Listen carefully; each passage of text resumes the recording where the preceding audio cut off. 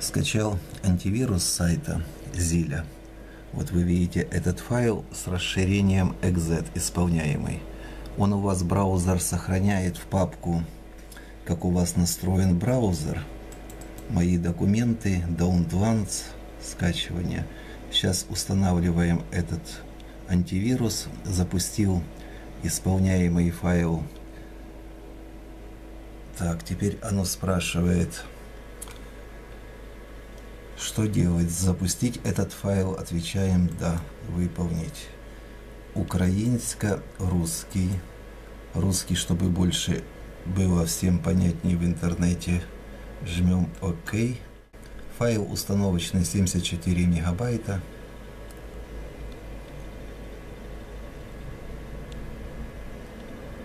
Раньше пользовался Авастом, но этот вроде быстрее и сертифицирован в Украине.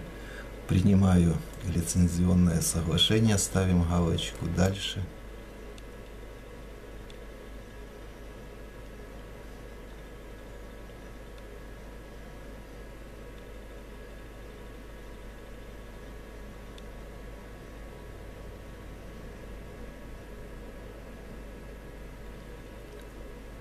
Я устанавливал раньше его полностью англоязычную версию, еще давнюю. А вот это сейчас установил с новым интерфейсом, где много опций, наглядность.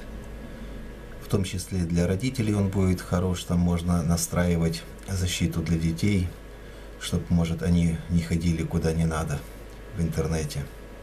Перед установкой надо удалить предыдущий вирус, антивирус, который у вас стоял на компьютере, а потом устанавливать этот.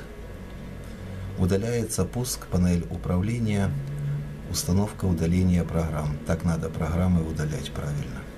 Пуск, панель управления и опция установка удаления программ. Завершена установка.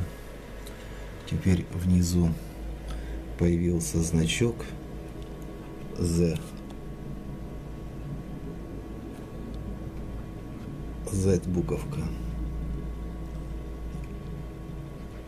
Нас перекинула на сайт этого антивируса. Тут есть и тоже видеоролики, как что сделать.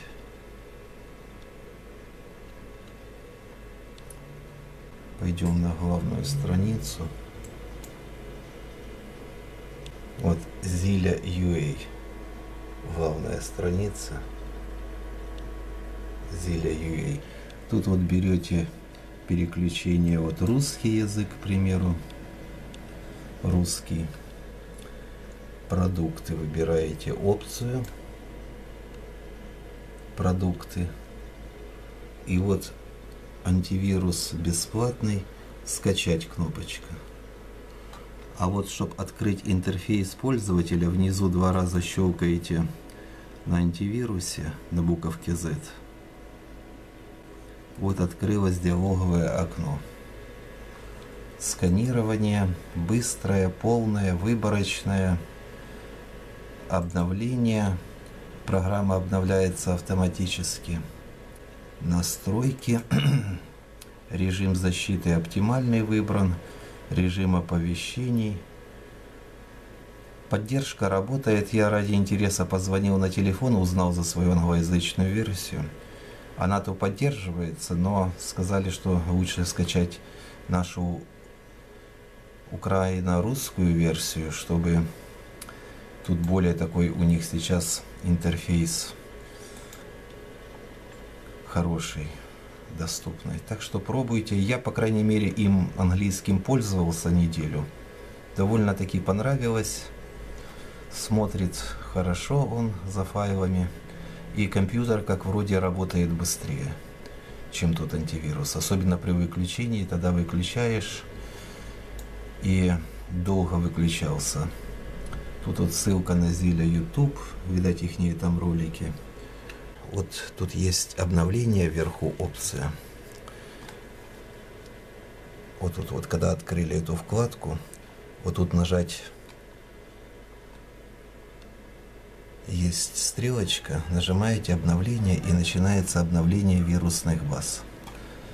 потому что автоматически оно может обновляться раз в сутки, а, или там другой график настроен. Это можно тут в дополнительных опциях. А еще можно обновлять, вот тут щелкаете правой кнопкой, и видите, вы, вы выполнить обновление пункт выбираете. Вот внизу выполнить обновление, когда правой кнопочкой щелкаете на значочек ZIL и запустить сканирование, выполнить обновление, а можно запустить обновление с интерфейса вируса, когда два раза щелкаете, открывается вот этот пункт обновления. Вот сейчас обновляются базы данных. Так что пробуйте. Наше должно быть лучше импортного, потому что люди у нас умные. Скачивайте, пробуйте. Тут есть расширенный за 15 гривен в месяц для бизнеса и государства, для госучреждений. Так что обычно этого антивируса должно хватить.